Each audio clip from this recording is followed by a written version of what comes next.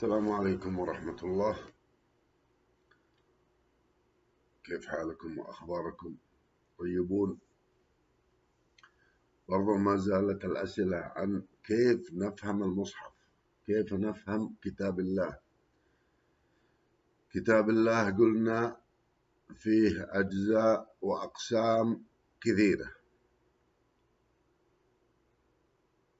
فيه آيات نبوة يعني غيبيات سابقة ومستقبلية.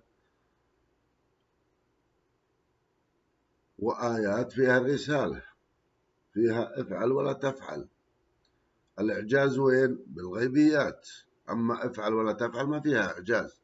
عندما يقول الله تعالى مثلا ألا تعبدوا إلا الله أو وبالوالدين إحسانا أو ولا تقتلوا النفس وين الإعجاز؟ هذا أمر. هذا أمر.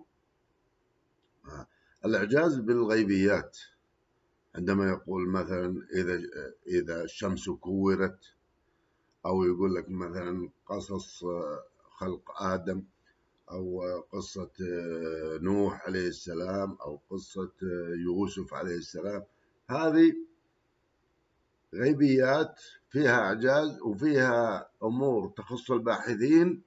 أنت لو ما عرفتها ما راح الله يسألك عنها. الغيبيات ما راح الله يسألك كيف تكور الشمس.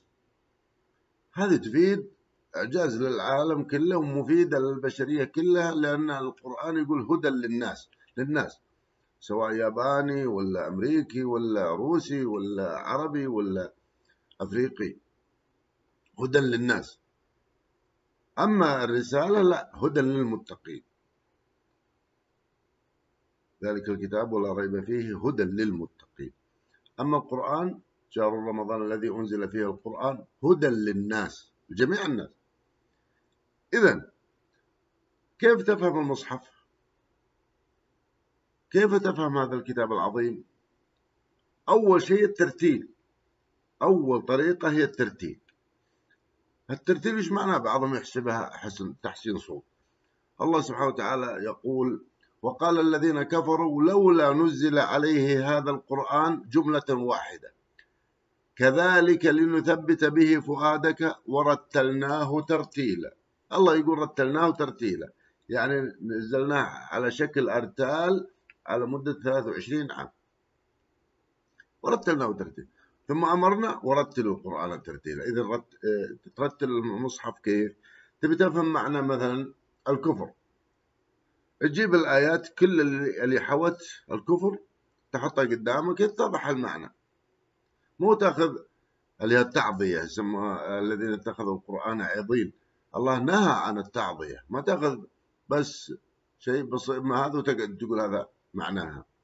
أو اللي بلشوا قالوا نسخت. لا ما في حاجة اسمها نسخت بالمصحف. الرسالة المحمدية نسخت رسالة عيسى. رسالة عيسى نسخت رسالة موسى. وهكذا. النسخ بين الرسالات. الله سبحانه وتعالى كل فترة يرسل رسالة تخص المجتمع وتخص الناس. الرسالة المحمدية عاد لأنها هي خاتم الرسالات. خلاص. فيها كل التشريع اللي يصلح إلى يوم القيامة. إذا الترتيل تجيب الآيات اللي حوت الموضوع هذا وتحطها قدامك. مثلا خلق آدم جيب الآيات كل اللي ذكرت آدم قدامك. يتضح لك المعنى. عشان ما تقعد تاخذ بس آية وتقول لا هذا المعنى. هذا أول شيء الترتيب. ثاني شيء اللي هو وضع نهاية الآيات هذا النجمة تنجيم. الآية لازم تكون تامة.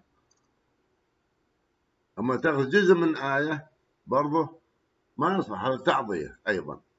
تأخذ الآية كاملة. لأن الآية بنية كاملة. مثلا أحيانا آية تلقى فيها كلمة واحدة. مثلا الرحمن. الرحمن معناته الآية هذه فيها معاني. ولذلك قلنا هو الاسم الوحيد من أسماء الله الذي ورد آية. الرحمن. لأنه يحوي الأضداد. يعذب ويرحم. بنفس الاسم. أما الرحيم لا بس يرحم. إذا التنجيم أول شيء قلنا الترتيل ثاني شيء التنجيم نهاية الآية لازم ننتبه لنهايات الآيات ثالث شيء اللي هو ترجيعها لجذرها بعض الكلمات. لأجيد مثلا كلمة مثلا النساء. ترجع الجذرها تجي من أو النسيء. ممكن النسيء على حسب عاد السياق تشوف في نساء يعني إناث ولا النسيء. هذا طريقة فهم المصحف العظيم. ما يبي لها تقعد تروح تقرأ تفاسير وتقرأ. التفاسير كل أصلا كل فترة يطلع تفسير يختلف عن الذي قبله لذلك يعني انتبهوا الناس لشيء معين.